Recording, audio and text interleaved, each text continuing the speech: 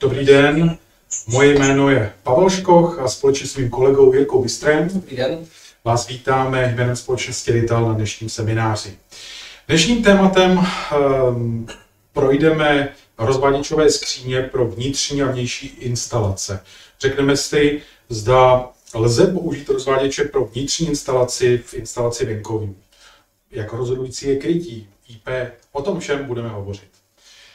Nějaký technické věci, Jirko? Já bych zmínil, že pro ideální kvalitu obrazu je lepší si nastavit vlastně v pravé dolní části u okna, které nás koukáte, tak je ozbrojené kolečko nastavení, kde si zvolíte co nejvyšší kvalitu obrazu, abyste nás dobře viděli. A další věc je, pak když byste měli v průběhu vysílání jakékoliv dotazy, tak tam je tlačítko chat, kde můžete ten svůj dotaz položit a my je na, na, na závěr toto vysílání budeme tyto případné dotazy odpovídat. My už se pustíme do samotného tématu rozvadičové skříně pro vnitřní a vnější instalace. Pokud bychom chtěli ehm, vůbec začít, a musíme začít trošičku legislativou, to znamená normou, kde v normách se vůbec hovoří o, o nějakých venkovních a vnitřních instalacích. My budeme dneska zmiňovat především normu ČSNN 61439, což je samozřejmě norma pro rozváděče nízkého napětí, nízkého napětí, o taková ta obecná ustanovení. Ale e, do téhle normy samozřejmě byly převzaty e, požadavky pro prázdné skříně z normy ČSNN 62208. Takže tyhle ty věci spolu naprosto korespondují, jsou vlastně v jednotě. Tak kde přesně v té normě ČSNN 61439 vlastně máme teda uvedené nějaké informace? Tak eh, v té normě se popisuje, že od každého rozváděče, je to jedno jaký, musí být uvedeny nějaké informace, nějaký krycí list a také takzvané ostatní charakteristiky toho rozváděče. A v odstavci 5.6, v té části 5.6, ostatní charakteristiky, pod písmenem D je uvedeno, že od rozvaděče musí být eh, zaznamenáno, zda to je pro vnitřní nebo venkovní použití ten rozváděč. Tak to je jedna z prvních zmínek. Potom dál v té normě samozřejmě jsou zmíněné nějaké normální provozní podmínky a v rámci těch normálních provozních podmínek je zmíněna tabulka 15. A v té tabulce 15, doufám, že to je trošičku aspoň vidět, eh, že to vidíte na svých obrazovkách, tam, je popsány, tam jsou popsány ty klimatické normální podmínky. A jednak jsou tam tedy definovány vnitřní eh, rozváděče a jednak venkovní rozváděče nebo venkovní instalace. A teď tady možná vidíte, že eh, co se týče teplot, tak je to rozdílné, co se týče vlhkosti, tak je to rozdílné. A dokonce samozřejmě u venkovních instalací se také rozlišuje eh, funkce ne funkce, ale možnost eh, tvoření nějakého náledí, nějaké, nějakého ledu. Kondenzace a podobně. Tak, přesně tak. Vlastně Takže... tady vidím, vlastně, že je rozdíl mezi vnitřním a vnějším prostředím v tom například, že ta nejnižší teplota je buď minus 5 v případě toho vnitřního prostředí, případně až minus 25 v případě toho vnějšího prostředí. Samozřejmě v těchto teplotách se jinak chová například těsnění a podobně. Mm-hmm, přesně tak. Dalším um, takovým docela zajímavým tématem je odstavec té normě 7.2, kde jsou zmíněné takzvané zvláštní provozní podmínky. To znamená, že je tady přímo uvedeno, že eh, pokud nastanou nějaké zvláštní provozní podmínky, tak musí být vypracována zvláštní dohoda mezi výrobcem rozváděče a uživatelem a ten uživatel by měl správně výrobce rozváděče informovat o existenci nějakých zvláštních jevů, ku případu možnost seismicity, možnost extrémnějších klimatických podmínek, možnost eh, výskytu nějakých hub nebo nějakých zvláštních živočichů, třeba hadů. Když doplnit, že vlastně i, jak je tam zažlucená ta věta, tak vlastně souladu zní i ve všech návodech ke skříním Rital. Je tam vždy na konci poznámka, že to skříně je určená pro vnitřní prostředí. V případě použití v jiných prostředích je potřeba kontaktovat Rital, aby vlastně proběhla diskuze s Ritalem a zástupce Ritalu řekl, ano, můžete být v tomto prostředí použít, případně ne v tomto prostředí nelze tuto standardní screen použít. Tak. No a my už jdeme ke konkrétnějším věcem a sice, eh, co teda nějaká zkouška? Jak se zkoušejí rozváděče pro vnitřní a vnější instalace? tak jednou s, s takovou rozdílnou zkouškou je zkouška koroze. Když na to jenom mrkneme, tak v tom odstavci 10.2.2 a 10.2.2.3 tam jsou dvě náročnosti. Náročnost A pro vnitřní rozváděče a náročnost B, to se co se týče zkoušky, pro vnější rozváděče, pro venkovní rozváděče. A vidíte, že i co se týče té tý doby toho zkoušení, tak je samozřejmě naprosto jiná. A co se týče soli, tak je naprosto rozdílná ta zkouška.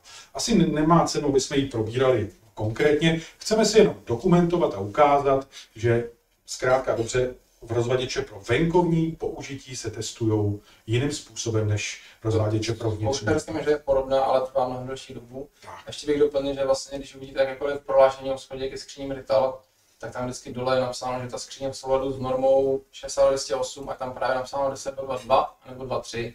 A i na základě toho se dá vlastně pěkně poznat, zda ta skříně primárně určená do vnitřního, případně vnějšího prostředí. Takže hmm. vlastně v tom v prohlášení o schodě je tato informace zanesena. Tak. No a další, uh, poslední zkouškou, uh, když porovnáváme vnitřní a vnější rozváděče nebo rozváděče pro vnější a vnitřní použití, tak je zkouška uh, proti ultrafialovému záření. I tady uh, můžeme říct, je rozdíl v tom, že ta zkouška se neprovádí pro rozváděče uh, vnitřní, to znamená, pouze pro venkovní rozváděče se provádí tahle zkouška, která má samozřejmě nějaké výsledky a musí být dokazováno, jak se chová ta skříň tedy na slunci. On to je logicky, protože když máš skříň vnitř, tak málo už si sluníčko, které by ovlivnilo ten povrchovou úpravu. Vlastně celým časem stane, pokud máte plastovou skříň, která je potřeba dle výrobce aplikovat na ní ochranný úbelak a nebudete ho aplikovat, tak po dvou, třech letech vám ta skříň začne pelíchat. A sami vlastně takoby vyšisuje vám barva, pokud není ta skříň správně zkoušená pro vnější prostředí. Tak teď jsme si prošli nějakou legislativu, něco, co je psáno, to je dáno.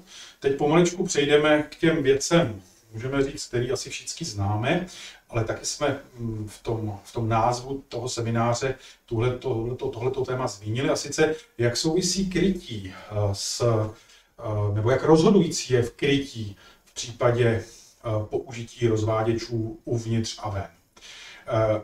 Asi problematika krytí je nám všem známá, to znamená první písmeno ochrana před nebezpečným dotykem a proti vniknutí cizích těles, druhá číslice je ochrana proti působení vody. To je celkem jasná věc. Důležité je, že té normě, potažmo vlastně v téhle stupnici se nikde nezmiňuje, jestli je to, řekněme, test pro vnitřní nebo pro venkovní rozváděče.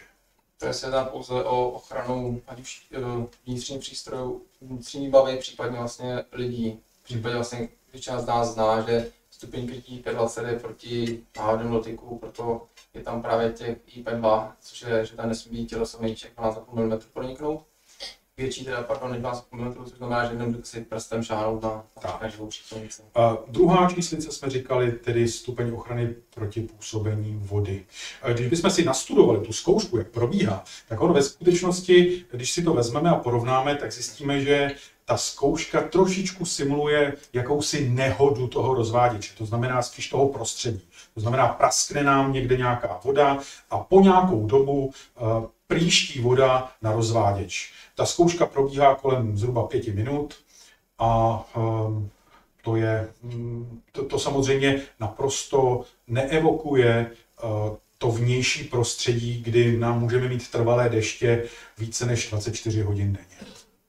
Právě proto se třeba pak na ty skříně používají stižky a podobně. Nebo tak. ta skříň musí být na to primárně řekněme určena. A to, a to si všechno ukážeme. Když zmiňujeme krytí IP, tak je také vhodné, aby jsme zmínili jedno označení, které se objevuje u Rital skříní, a to je takzvané označení NEMA. Uh, NEMA je jakési združení, které pro Severní Ameriku v podstatě uh, dává dohromady některé normy a v rámci UL ratingu uh, tahle ta organizace udělala takzvaný NEMA, takovou, NEMA stupnici. A tahle ta NEMA stupnice se nedá úplně srovnávat s krytím IP, to znamená s tou, s tou normou mezinárodní a evropskou, které řeší krytí IP. A tahle ta norma, tahle ta stupnice v podstatě popisuje jednak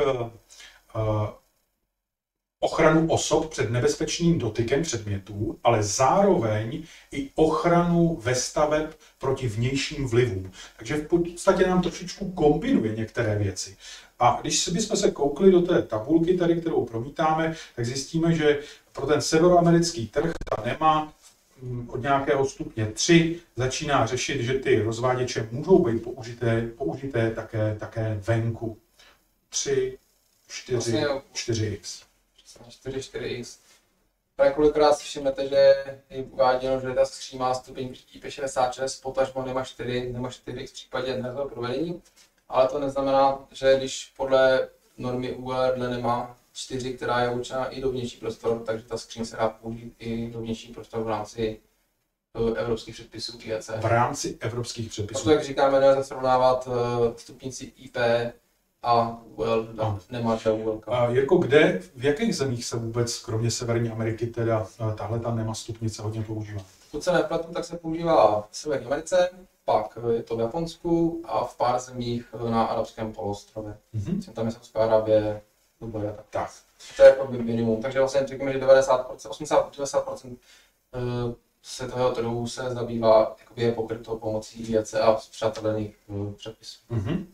No, když bychom si chtěli vůbec tu problematiku legislativy trošičku schrnout, nebo můžeme říct zakončit, tak ji zakončíme takovou nešťastnou záležitostí.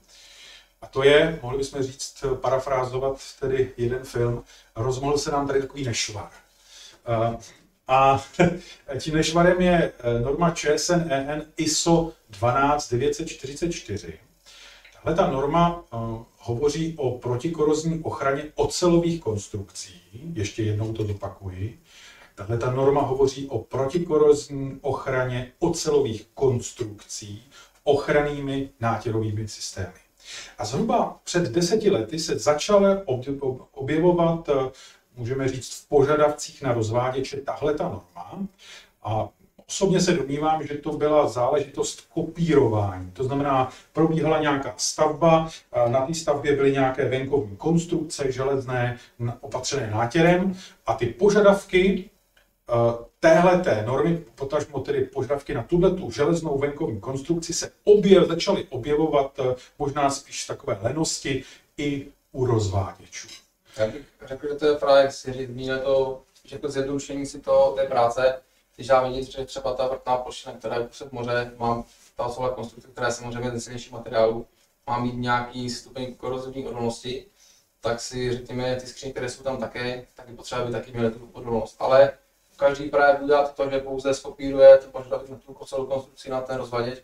V tom vlastně jakoby, máme rozpol v tom, že vyžadujeme provedení té korozi odolnosti na základě normy, která vlastně se nedá vztahovat na skříně, protože jak je zmínil, tak eh, tato norma, tento předpis se zabývá konstrukcemi z materiálu snejší než 3 mm.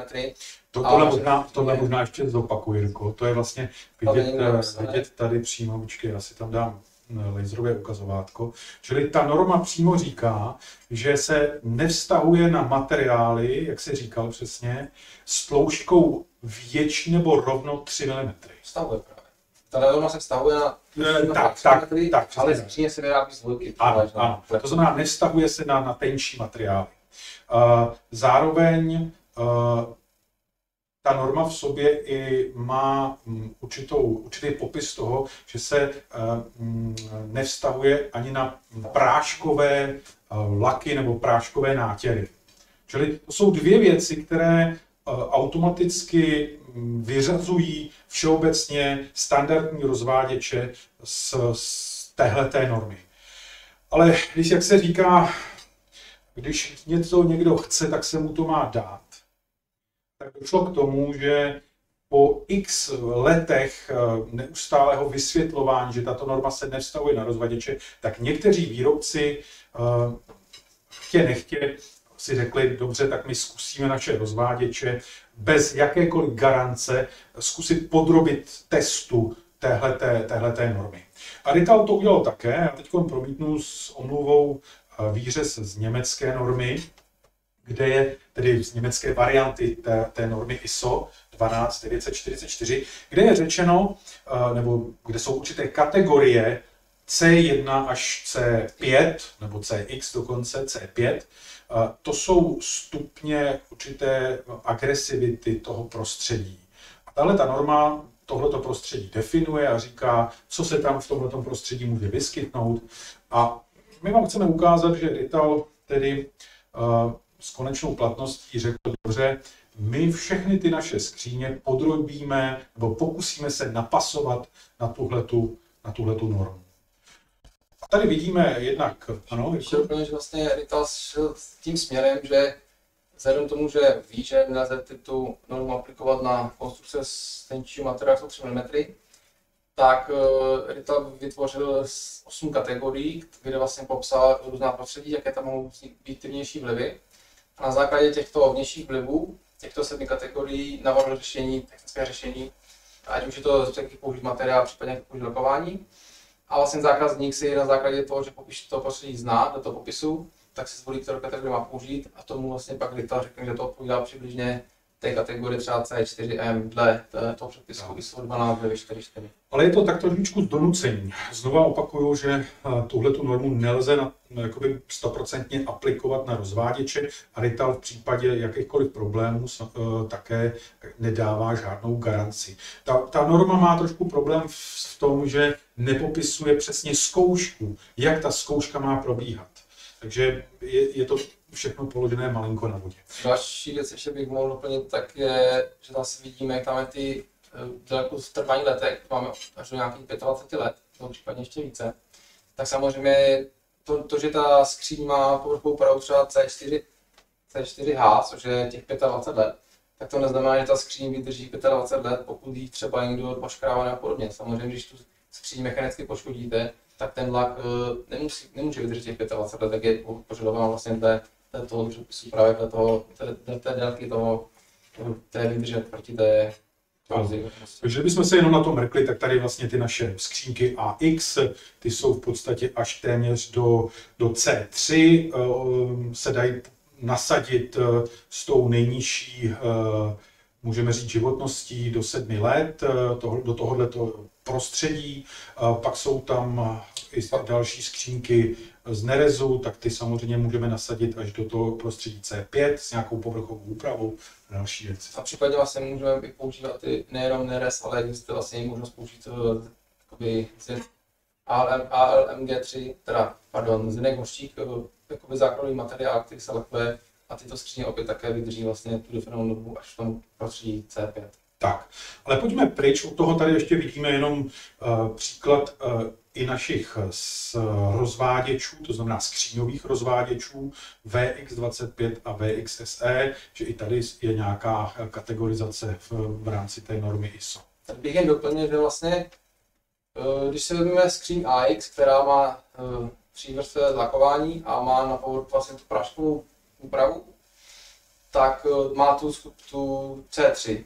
Ale vlastně vidíme, že skříň 25 má také povrchovou ale spadá pouze jako kategorie C2. A ten důvod je v tom, že sice ty vnější plechy mají práškovou úpravu, ale sám o sobě ten rám skříně má pouze základnou baru, díky čemu vlastně už někdo spadá kategorie C3. Protože když se to, to vezmeme, tak vy sice ten, ten rám skříně nevidíte fyzicky, na skříň koukáte, a samozřejmě ty vnější vlivy tam mohou se dostat, protože je to schované za těma bočnicema, dveřma a podobně. Pojďme si teď ukázat uh, graficky znázorněnou povrchovou úpravu Rital pro vnitřní prostředí a to znamená to standardní povrchovou úpravu a potom pro ten venkovní lak. Tak kdo to popíše z nás, jako? Třeba. Když standardní, standardní skříně standardního materiálu, tak máme základní materiál, ať je to standardně to je ocelový, ocelový plech, na, na který dáme na keramickou vrstvu, to je vlastně taková předpříprava toho povrchu. Mm-hmm. A pak vlastně dáme, ano, vždycky naneseme vmáčením v, ve vaně, naneseme základnou barvu a pak se to posléze aplikuje na to práškové barva, která se pak vypálí. vypálí. Ano. Vidíme tady vlastně tu I tloušku to. tloušku, ty- ty- 80 mikrometrů, je to tak? A vlastně oproti se podívám tu pro ten vnější prostředí, tak tam vlastně ten vrchní nátěr vidíme, že má 80 až 20 mikrometrů, takže i ten, i ten nátěr je mnohem silnější. Samozřejmě ten základní materiál, tady se mm, Rital jednoznačně pro venkovní skříně doporučuje, tedy hliník ALMG3 anebo ocel. Tak to, je, to jsme si ukázali ten rozdíl eh, v tom, v tom lakování. Teď pojďme trošičku k praxi. Udělali jsme si video takového sněžného děla, které je opatřené eh, malým, malou skřínkou Rital.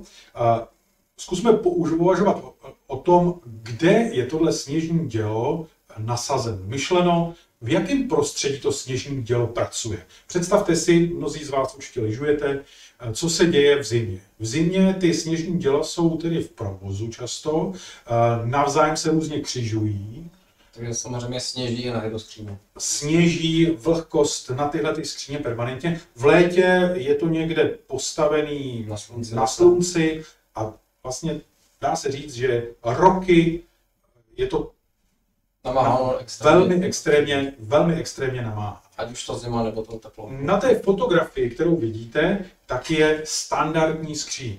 Standardní skříň se standardní povrchovou úpravou, standardní skříň, která se používá pro vnitřní prostředí. Samozřejmě nabízí se otázka, no je to, je to povolený, Eh, kde není eh, žalobce, není ani soudce, pokud se nic nestane a ten zákazník je spokojený, tak eh, ve skutečnosti po celé Evropě najdete Rital skříně na všech sjezdovkách ve venkovním prostředí. A dlouhé roky se samozřejmě nemusí dít vůbec nic. Ale že jo, kdo, kdo má největší know-how? Jsou to tvůrci norem, anebo ti, co vyrábějí rozváděče a setkávají se s těmi problémy, které nastávají? No jednoznačně B je správně. Výrobci rozváděčů mají největší zkušenosti s danýma aplikacemi. Pojďme se teď společně kouknout na video, které jsme udělali. To znamená, tyhle ty sněžní děla jsou nasazené zhruba 10 let na sjezdovkách. Je jich tam docela dost. A my se půjdeme do jedné té skříně podívat, co se tam děje. Tak vlastně vidíme, jak, jaké ty známky času ta skříň už lehce co zažila. Přesně tak. Možná Abych ještě zmínil, že není otázkou, zda je dobře použito, že vlastně ta skříň se podíváme, tak uh, není ve správné poloze úplně vlastně otočená do stupňů, že ty panty jsou směrem nahoru. je otočena o 90 stupňů. Panty jsou nahoru, ano, přesně tak. Je třeba vědět, že ta skříň uh, nemá vyřešený, protože je pro vnitřní použití, takže přímý kontakt vody a těsnění. Teď se budeme podívat na tu skříň dovnitř. My jsme si ji před otevřeli. Ještě znova malinký záběr na vnějšek té skříně.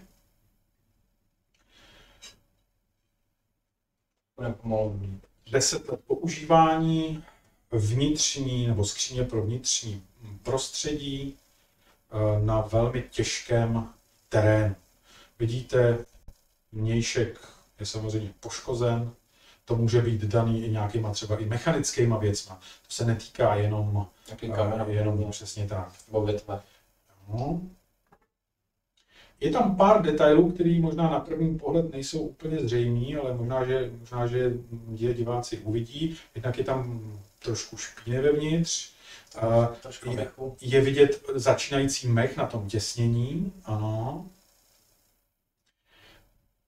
Vlastně vrchní části je vidět, když tam už A tady už je teda vidět velká koroze, která odpadává.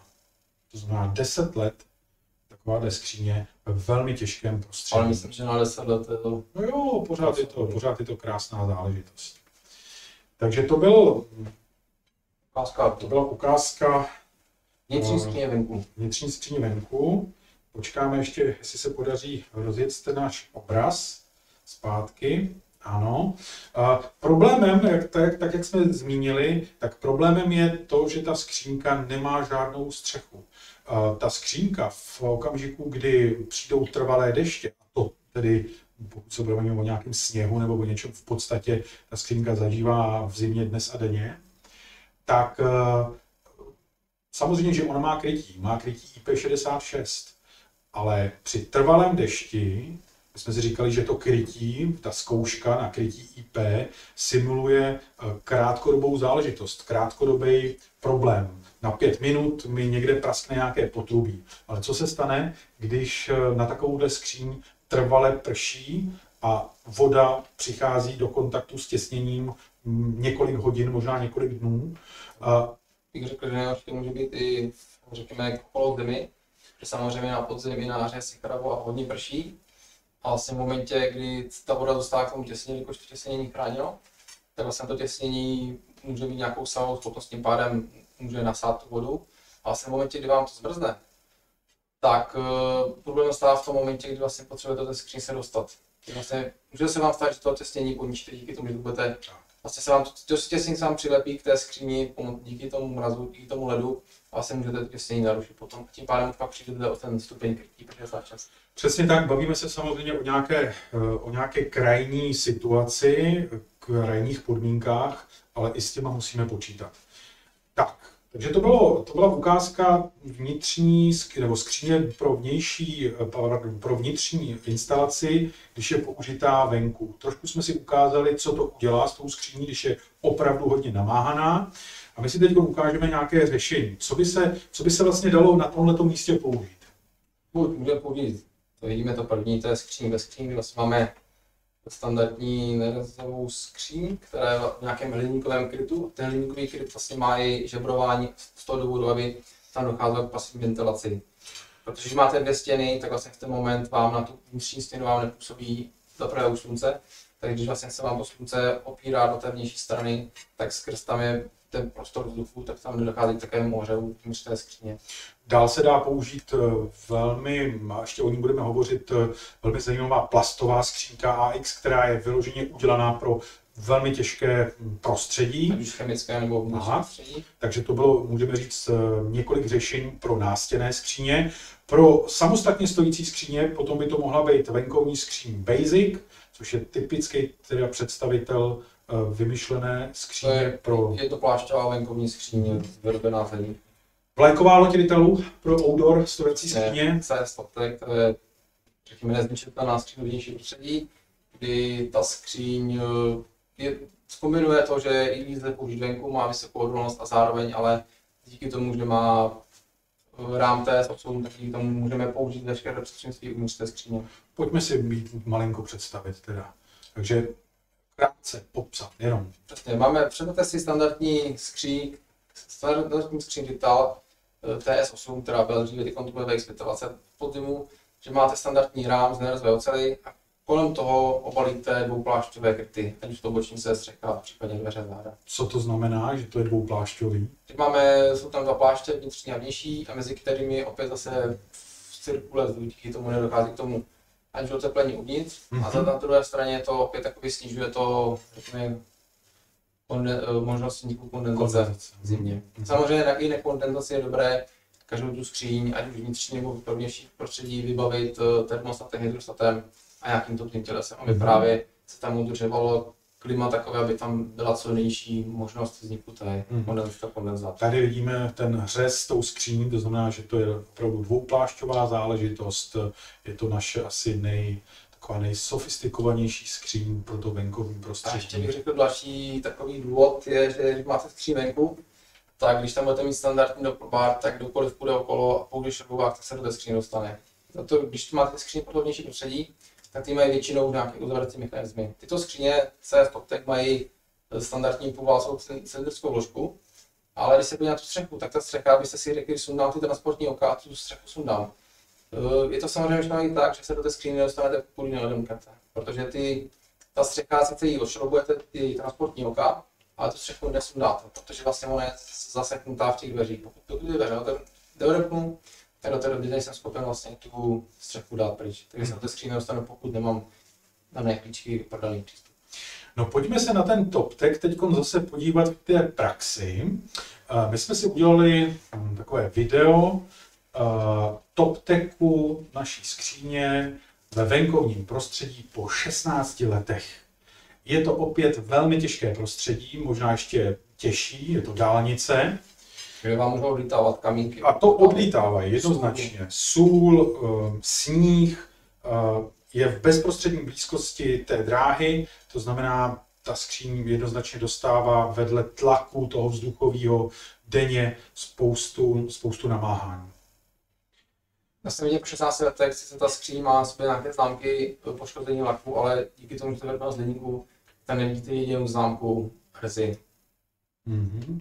Jak jsme říkali, když třeba v zimě tam jede okolo pluk, tak vlastně na to hodí velkou váhu a samozřejmě ta skříň to vydrží, takže mají dobrou mechanickou hodnost. Ty skříně všeobecně pro venkovní prostředí jsou udělané tak, aby ten, um, zároveň ta voda nebyla schopná přímého dotyku s tím polyuretanovým těsněním. Já jsem měl nějakou střížku, která vlastně chrání tak. to těsnění. Je to tím vymeš.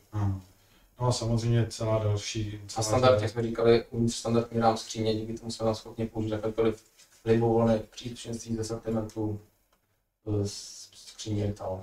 Já myslím, že to je mm, obdivuhodný výkon. 16 let eh, na takovémhle místě pořád stejná skříň. Kousek vodostarové tím pádem, tam ještě těžší prostředí. My jsme jakoby uh, po takové. No. Tak, takže to byla, to byla ukázka uh, té naší, můžeme říct, lajkové lodi. Uh, když bychom chtěli doporučit nějakou další záležitost z těch venkovních skříní, tak je to, můžeme říct, o stupeň menší, nižší, a to je uh, venkovní skříň Basic. Uh, opět uh, korpus a dveře, mm, jednak je to tedy jednostěná skříň, ale korpus a dveře jsou opět z toho šlechtěného hliníku.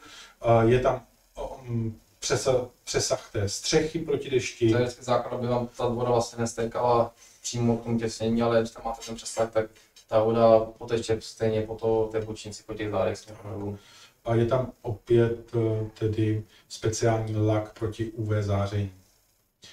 Tak to byl, uh, to byly ve A samozřejmě, když máme ty skříně venku, tak je potřebujeme koupit, která rychle v letě. Mhm. Tak uh, společnost máme v sortimentu nějaké základní rozměry těch venkovních skříní a stotek. Přičemž eh, ji dodáváme případně i s výřezem přímo pro chladicí jednotku, která má právě použití k schválení pro venkovní použití, což jsou tyto jednotky chladicí jednotky druhý plus eh, pro venkovní prostředí, nemá přímo. Mhm. A vlastně ta skříň je jednoduše pak na ní na chladicí jednotku, a tu skříň můžete použít kdekoliv venku. Mhm. Samozřejmě, kolikrát máme aplikace, když ty skříně jdou někam na dálný východ, teď jsme třeba dělali aplikaci, kdy ta skříň šla, včetně těch jednotky šla do Saudské Arábie do pouště. Tam samozřejmě z, z minulosti, když víme, že tam je problém s písečnými bouřemi, tak tam se třeba řeší to, že ta chranice jednotka se překryje eh, s hliníko, hliníkovým případně hakovaným krytem, aby vlastně ten písek nenarážel přímo do těch žeber té chranicí jednotky. Eh, To byla záležitost eh, stojacích skříní nebo samostatně stojících skříní a teď jsme si ukázali mm, outdoor provedení chladící jednotky, klasické klimatizace. Pojďme se ještě chviličku vrátit a věnovat eh, nástěnným skříním pro outdoor, typickým. Takže jsme, jak jsme zmiňovali, tak můžeme použít nerezovou skříň, která je v hliníkovém plášti, vypadá to skoro jako trošku kápošovní schránka, ale svůj princip to plní, kdy vlastně ta vnitřní skříň je schovaná v tom vnějším hliníkovém korpusu, díky tomu dvou plášti je tam opět eh, vzduchová mezera mezi těmi dvěma plášti a dochází tam k tomu, řekněme, pasivnímu větrání, díky čemu v létě ta, ty komponenty v té skříni tolik netrpí. A to je možná do- dobrý poznatek, eh, protože já když eh, navrhuju tu skříň, tak bych měl uvažovat o tom, jaké komponenty uvnitř eh, budou a co to je za aplikaci. Jak důležitá technologie to je pro chod nějakého zařízení. Podle toho samozřejmě volím potom eh, typ skříně. Samozřejmě pokud tam mám nějakou citlivou elektroniku, tak eh, si nemohu dovolit, aby byla v nějakých vyšších teplotách, tím pádem já musím tu skříň chtě nechtě nějak ochlazovat. Ale se v zimě, aby tam ne, nebyla zima, nebylo to, tak vlastně na tom obrázku vidím, že tam je dané ten tělosat, který je ovládáno v termostatu. Eh, Nějaká, nebo další obrázek, další slide ukazuje podobné řešení, ale tak, z takové té nejnovější řady. A sice standardní skříň můžeme zavřít do mm, pláště. Um, Taková, takové skříň ve skříni, řekněme. přesně tak. Vyvezmu standardní skříň řady AX, celou blefu, případně nerezervují AEčko a dám mu vlastně do hliníkového krytu, díky čemu opět dál získávám vlastně možnost, že ta skříň je schovaná vůči těm vnějším vlivům v tom hliníkovém krytu, tím pádem ta skříň ne, netrpí tolik jako by triple by byla přímo vystavena těm vnějším vlivům bez toho dodatečného hliníkového krytu. A to je jedna z novinek, kterou jsme nedávno představili, poměrně nedávno, můžeme říct. Poměrně. Poměrně nedávno. Také jsme na začátku zmiňovali naši plastovou skříň AX, velmi zdařilá záležitost. To jsou skříně, které byly by navrženy do těch nejnáročnějších aplikací. Za prvé mají vysokou odolnost vůči UV záření bez dodatečného UV laku. Tím pádem má nepotřebuji tu skříň dodatečně lakovat eh, ochranným lakem vůči UV záření, a ta skříň v tom vnějším prostředí v tom slunci přímo vydrží. Eh, další je, že je to vyrobeno z salonu materiálu, díky čemu já jsem schopen používat v různých eh, prostředí, jako jsou chemičky, čističky odpadních vod a podobně, kde jsou kyselé výpary a podobně. A ta skříň to stále vydrží. Samozřejmě, jak už to je řada AX, tak cokoliv je řady AX, tak pasuje vlastně veškeré do příčinství, takže já jsem schopen vlastně, nejsem ani, ani limitoval nějakým vnitřním, vnitřním příčinství této skříně, můžu použít standardní šasy, nějaké montážní hmm. když ty a podobně, co jsem zvyklý. Čili pro venkovní prostředí ideální záležitost ideální plastová rozvadičová skříň AX. Možná také zmíníme, že tam je dvojité těsnění na té skříni. Ano, vy tam vlastně máte standardní těsnění, které vám zajišťuje těsnění mezi dveřmi a tím korpusem skříně ale zároveň tam je ještě takový, já tomu říkám stěrač, který vlastně chrání to hlavní těsnění pro vstupní krytí. A vlastně pokud, když já ty dveře otvírám, tak se mi všechny ty nečistoty z toho setřou. Takže k tomu hlavnímu těsnění, které mi zaručuje to krytí, se nikdy ta voda nemůže dostat. Žádný hmm. nepořádek. No pojďme si to schrnout teda. V podstatě taková ta otázka, um, můžu použít rozváděč do, um, pro rozvaděč eh, pro vnitřní prostředí ve venkovním prostředí. Co říká Rital? Rital říká, že za jistých podmínek ano, ale vždycky doporučujeme, pokud je to jen trochu možné, tak když máme samostatné skříně, by byla aspoň nějakým přístřežkem. Aby vlastně ty, ty deště ne, ne, nešly přímo na tu, ty korpu skříně, případně u těch nástěných vlastně vidíme nějakou stříčku, případně u těch uh, velkých skříň, aby tam nějakou skříň, střížku proti dešti, aby ta voda nestékala k tomu těsnění, ale mělo to nějaký přesah, aby ta voda stékala mimo tu skříň. A taky si musí ten hm, zákazník eh, dobře stanovit, jaké zařízení uvnitř skříně bude, jak eh, složitá je ta technologie, jak důležitá pro chod nějakého zařízení. Samozřejmě záleží upřímně, kde to máte na té budově, to je na severní nebo na jižní straně. Mm-hmm. Vždycky tam máte větší, tam nějaké rozdíly v rámci té teploty v létě. Zdali tam bude více namáháno tím UV zářením, případně vlastně ty komponenty budou více namáhány teplotou, anebo nebudou. si záleží na tom umístění strašně moc. Tak. Proto tak říkáme, pokud si nejste jistí, se zeptejte, my něco vymyslíme. No já myslím, že jsme to uzavřeli, tohleto téma, Jirko. Um, máme nějaké dotazy na chatu? Já jsem koukal, že na chatu dotaz žádný není, to jsme asi řekli všechno. My jsme řekli všechno. Eh, to téma bylo poměrně rychlé. Doufáme, že jsme ty základní věci, které jsme zmínili na začátku, že jsme je odpověděli. A pak, když nějaké dotazy v budoucnu, tak kontaktovat buď kolegy z technické podpory, nebo případně přímo nás dva. My moc děkujeme za vaši pozornost. Loučíme se s vámi a pozvánka na příště. Příště vysílání tady z našeho studia ve Zdibech bude 31.5. A kolegové um, budou hovořit o tématu našeho Rital web shopu. Moc děkujeme, loučíme se. Naschledanou. Naschledanou.